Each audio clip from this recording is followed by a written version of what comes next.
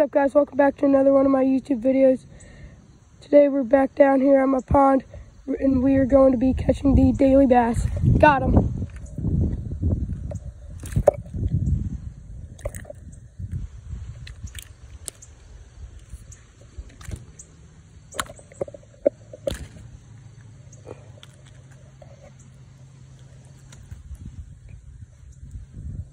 Well, there you go. There's the daily bass.